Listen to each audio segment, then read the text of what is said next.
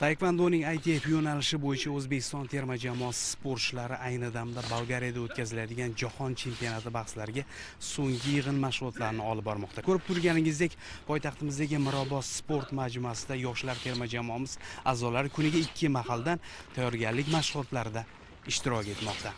Bolgariyaning plovdiv shahrida o'smirlar yoshlar hamda kattalar o'rtasida taekvondoning ITF turi bo'yicha 21 jahon chempionati bo'lib o'tadi. Mazkur nufuzli musobaqada dmitriy pak boshchilik qilayotgan o'zbekiston yoshlar terma jamoasi a'zolari ham ishtirok etadi. Uch bosqichda yig'in olib borayotgan terma jamoamiz a'zolari so'nggi yig'in mashg'ulotlarini poytaxtimizda o'tkazmoqda. Подготовка идет на чемпионат мира э, хорошо. to'g'risini aytadigan bo'lsam bu yilgi bahslarda katta tajribaga ega bo'lgan sportchilarimiz bilan birga bir qator endi yoshlarimiz ham jahon birinchiligida o'z omadlarini sinab ko'rishadi. Bizda hamma sharoitlar yaratib berilgan. Sportchilarimiz qisqa fursat ichida bellashuvlarga har tomonlama puxta tayyorgarlik ko'rmoqda. Poytaxtimizning mirobod tumanidagi birinchi bolalar o'smirlar sport maktabida tashkil etilgan so'nggi tayyorgarlik mashg'ulotlariga yurtimizning barcha viloyatlarining tajribali sportchilari qatori bir qator umidli yoshlari ham jalb etilgan. Oldimizda juda yirik musobaqa turibdi. Biz kuniga ikki mahaldan tayyorgarlik ko'ryapmiz. Sharoitlarga keladigan bo'lsam bizga shug'ullanishimiz uchun barcha imkoniyatlar yaratib berildi. Asosiy maqsadimiz jahon chempionatida yuqori o'rinlarni qo'lga kiritish. Albatta bu musobaqaga juda yam katta tayyorgarlik etyapti har kuni ikki marotaba mashg'ulotlar o'tkazyapti xudo xohlasa bu musobaqaga niyatlarimiz juda katta va albatta o'zbekiston bayrog'ini yuqoriga ko'tarish niyatimiz bor. Qanaqa mashg'ulotlarda o'zingizni o'sha e, har tomonlama jismoniy jihatingizni ko'rsata olyapsizmi? O'tgan yilga qaraganda o'sha quvvatingiz qanchalik oshgan? Umuman texnikangiz taktik jihatdan qanchalik tayyorsiz? Ah, o'tgan yilga qaraganda ah, bu yil texnikam ana yanada oshgan. Yanada tezroq bo'lganman va kuch ham shunga yarasha o'sgan.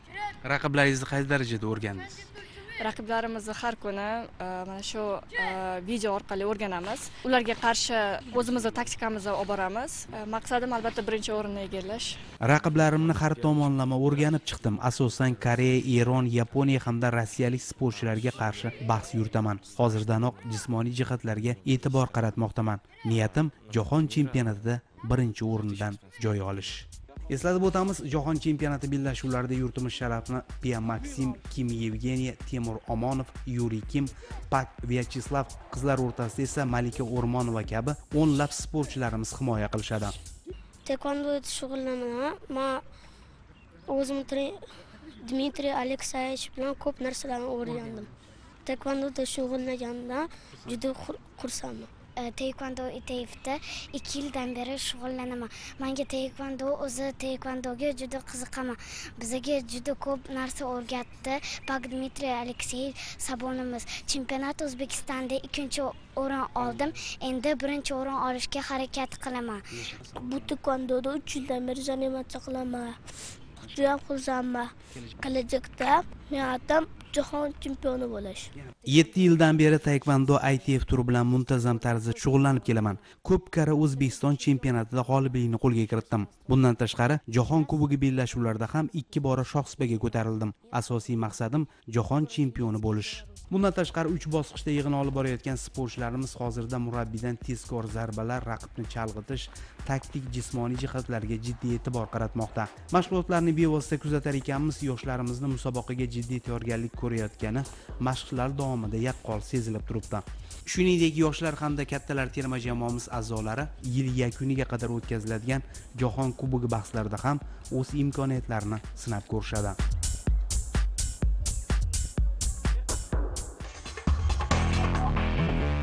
Mamlakatimizda ancha ommalashib borayotgan badiiy gimnastika bilan hozirgi kunda mingdan ortiq yosh qizlarimiz muntazam tarzda shug'ullanib kelmoqda. O'tgan ikki yil davomida yoshlarimiz yigirmadan ortiq xalqaro turnirlarda muvaffaqiyatli ishtirok etib yuqori natijalarni qo'lga kiritdi. Bu musobaqa yillik kalendar rejamizga kiritilgan. Bundan tashqari yana avgust oyida mana uchta sport turimizdan musobaqalar tashkillashtirganmiz. O'ylaymanki bu musobaqalar tuman bosqichida bo'lib o'tayotgan musobaqalar shahar bosqichida ham e, yo'llanma olib qatnashishga e, turtki bo'ladi imkoniyat beradi yo'llanma oladi. Mana bugungi kunda hozir davlatimiz tomonidan mm, sportga qaratilgan berilayotgan e'tibor e, undan tashqari beshta tashabbusli ikkinchi yo'nalishi bo'yicha tashkillashtiryapmiz maqsadimiz hozir yoshlarni sog'lom tarzda tarbiyalab ommaviy sportni rivojlantirib и kelajakda shu sportchilarni yetuk sportchi qilib yetkazish. Poytaxtimizning olmazor tumanida tashkil etilgan bu safargi ochiq birinchilik musobaqalari ham yuqori saviyada bo'lib o'tdi. Unda respublikamizning barcha viloyatlaridan tashrif buyurgan yuzdan ortiq ishtirokchilar badiiy gimnastikaning ikkita yo'nalishida o'z imkoniyatlarini sinab ko'rishdi. Qizchalarni badiiy gimnastikaga qiziqtirib e, e, ko'plab musobaqalar turnirlarda e, g'olib va sovrindor bo'lishga ham erishdik. Qizchalarimiz e, to'rt besh yoshdan beri shug'ullanib e, shu vaqtgacha tuman birinchiligi shahar birinchiliklarida qatnashishgan badiiy gimnastika sport turi qizlar uchun juda mos nafis jozibali sport turi hisoblanadi. Badiiy gimnastika sport turi bo'yicha bir yildan beri shug'ullanaman. Men iyul oyida sirdaryo viloyati guliston shahriga borib faxrli birinchi o'rinni oldim gimnastika bilan shug'ullangan odam sog'lom bo'ladi bu safargi natijalarga to'xtaladigan bo'lsak ishtirokchilar o'rtasida raqobat ham ancha oshganligi kuzatildi bellashuvlar davomida yigirmadan ortiq sportchilar yakunda g'oliblik shohsupasidan joy olishdi endi ushbu sportchilar xalqaro turnirlarda ishtirok etishadi o'smirlar hamda yoshlar o'rtasidagi bu galgi o'zbekiston chempionatida barcha viloyatlardan 300 dan ortiq sportchilar bel olish kurashning ikkita yo'nalishi bo'yicha g'oliblik uchun kurash olib borishdi. O'tgan yilgi bilan bu yilga taqqoslasak o'tgan yili shu yoshdagilarni soni 250 taga yetib borgandi. Mana bu yil 350 tadan oshib ketdi. Bundan chiqdiga shuni bilib taqqoslash mumkin. O'zbekistonda shu sportga rivojlanish bo'lyapti. Mana yuztaga bir yilda yuztaga safimiz ko'paydi. Bularni yoshiga olib qaraydigan bo'lsak bular o'n to'rt yosh o'n besh o'n uch yoshda sportchilar. Mana bularni e, ikki uch yildan keyin xalqaro nimalarda ko'ramiz bularni. Bu biz bularga zamin yaratyapmiz musobaqaning ochilish marosimi ham yuqori saviyada bo'lib o'tdi. Unda so'zga chiqqanlar barcha ishtirokchilarga bahslarda omad tilashdi. Shundan so'ng 35 ta vazn toifasida g'oliblar nomi e'lon qilindi. Eslatib o'tamiz xalqaro turnirlar oldidan o'tkazilgan bellashuvlarda jamoalar o'rtasida sirdaryo toshkent viloyati farg'ona hamda andijonlik sportchilar yetakchilik qilishdi. Endi musobaqa g'oliblari xalqaro turnirlar hamda jahon kubogi bosqichlarida yurtimiz sharafini himoya qilishadi.